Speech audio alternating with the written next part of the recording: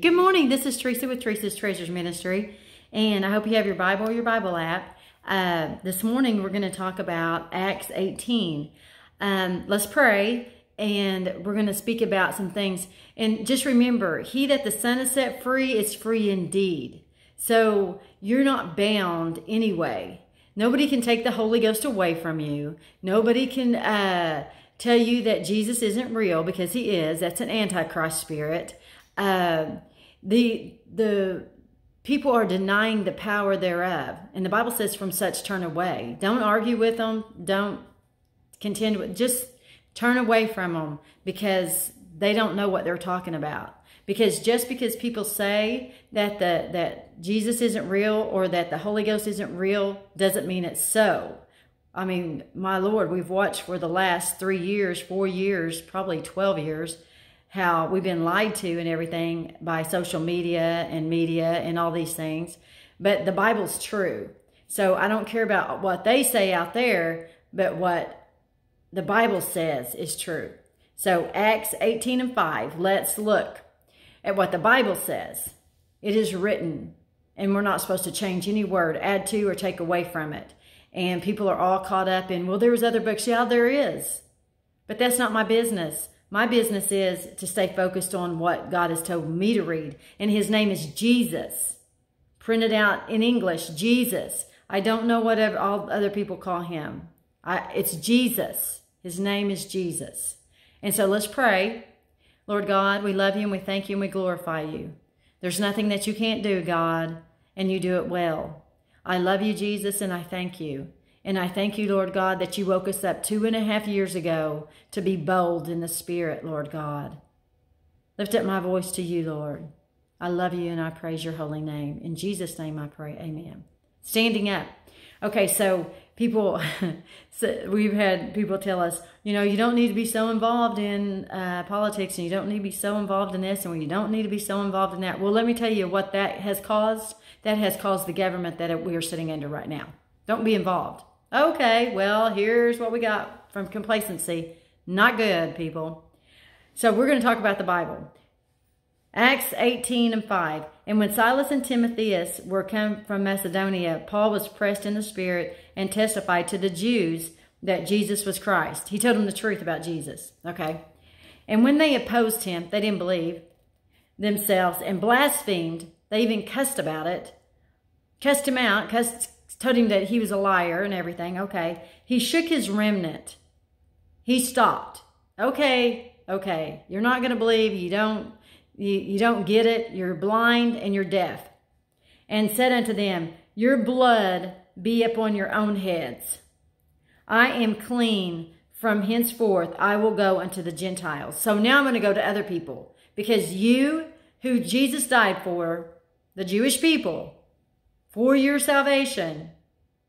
You don't believe me? Okay, I'm going to the Gentiles. I'm going to get out. I didn't come just for you, but I came to tell you first.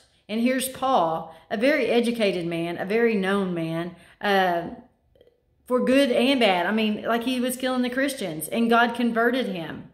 The Spirit of God did that. So Paul is very well aware of what the Spirit of God is. He's not telling them something that he hasn't experienced his own self. Okay. My husband and I, I got filled with the Holy Ghost in 91 and Steve got filled with the Holy Ghost in 96. I was in church five years before Steve came in. But in that time, in that process of that five years, uh, my husband would come to church and visit and everything. And uh, God got a hold of him. I didn't. God did.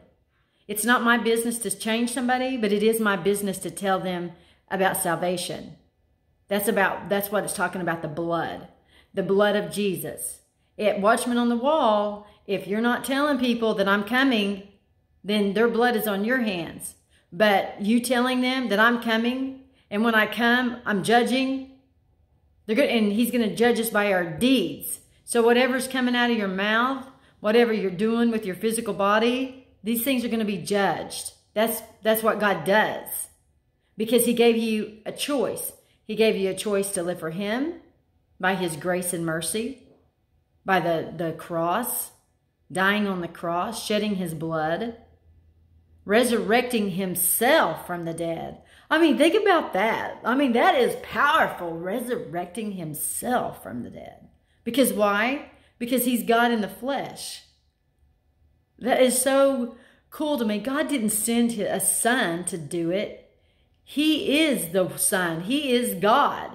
He is God manifest in the flesh, justified in the spirit. Oh my God. You're everything, Lord. From henceforth I will go into the Gentiles. 7. And he departed thence and entered into a certain man's house named Justus, one that worshipped God, whose house joined hard to the synagogue. So he was very entrenched in the synagogue. And Cyprus, the chief ruler of the synagogue, believed on the Lord with all his house, and many of the Corinthians, hearing, believed and were baptized. Then spake the Lord to Paul in the night by a vision, Be not afraid, but speak and hold not thy peace. For I am with thee, and no man shall set on thee to hurt thee for I have much people in this city. See, I've got a God's telling him, I've got a bunch of people here, and you don't even know what the people that I have here. And some of these people that don't believe, but there's a lot of believers. You just wait and see. I'm going to show them to you. And he continued there a year and six months, teaching the word of God among them. And then when Gallio was the deputy of Achaia, the Jews made insurrection with one accord against Paul and brought him to, judge, to the judgment seat. So they created an uproar against him.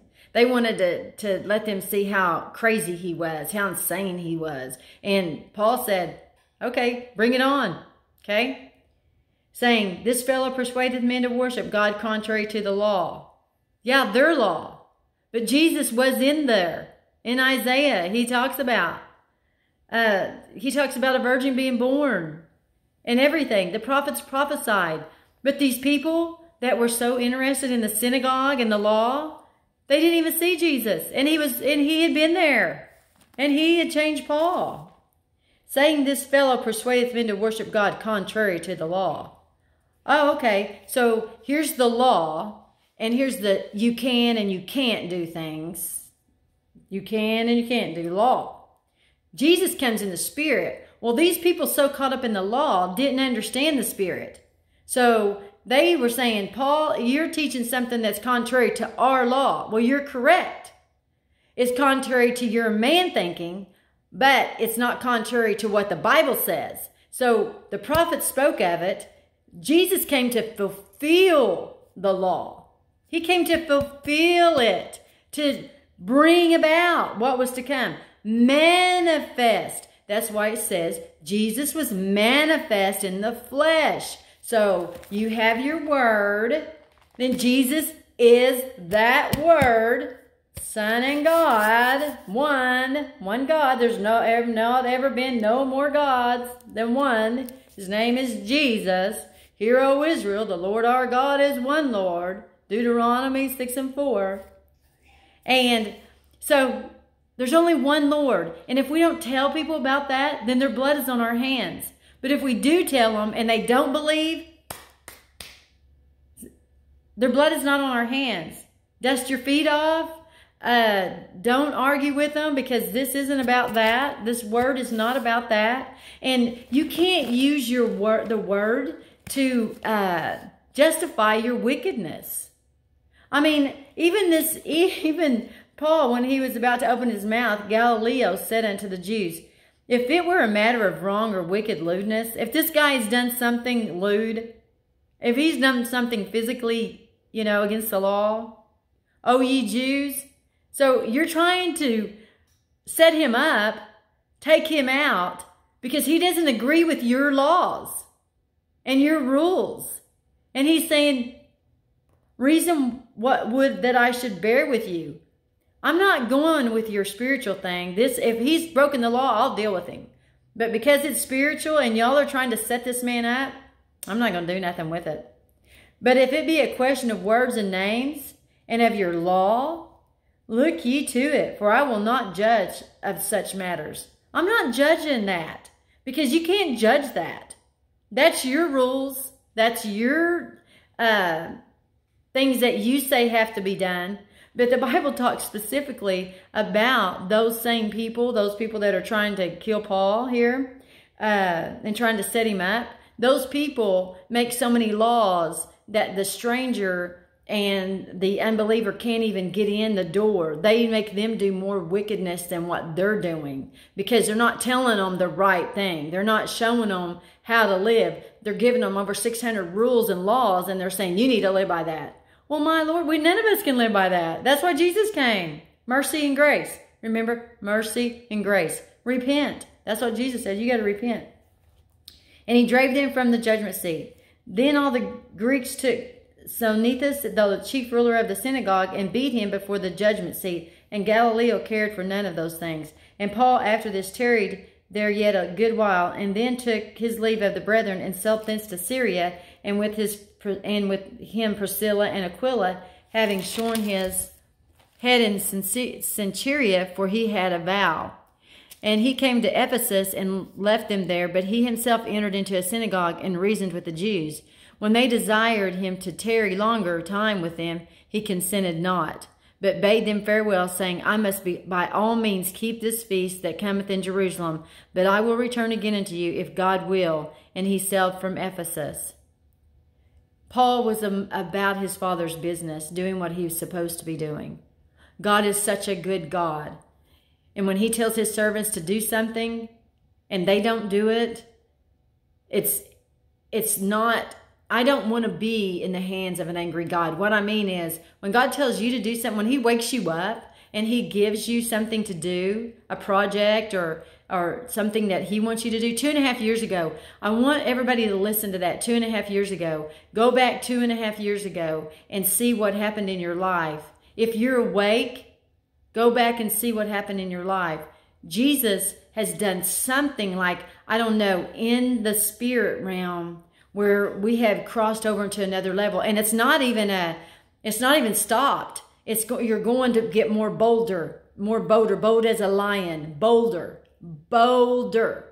Because why? Because Jesus is coming back and complacency is not going to get us to heaven. Sitting down on the pew is not going to get us to heaven. We must work while we still have light because darkness is coming.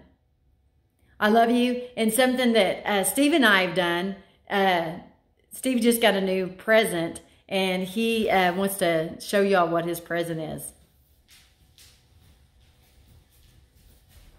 Hello viewers, got me a new shofar and I want to blow it because the shofar uh, is, what the Jewish people blow for victory. And we're fixing to have victory in this nation in Jesus' name. Okay, bear with me. I just got this a couple of days ago. I'll blow it the best I can.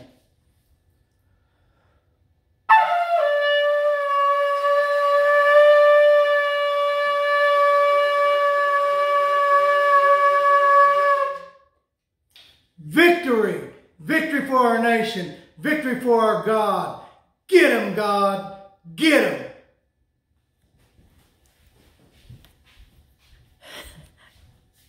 So, here we are. We're learning new things, doing new things.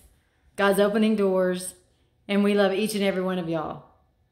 We have so many friends, so many friends that we talk to every day, so many friends that that watch these videos, that don't watch these videos. That's not my deal. My deal is God said, do these videos and he would take care of the rest. I don't know. All I know is that God is in control and we are not. Let's pray. Lord God, we love you and we thank you and we glorify you. Lord, the enemy is a Psalms 94 house. The righteous are a Psalms 91 house. God, get them. We love you, Lord, and we thank you. In Jesus' name we pray. Amen. Have a great day.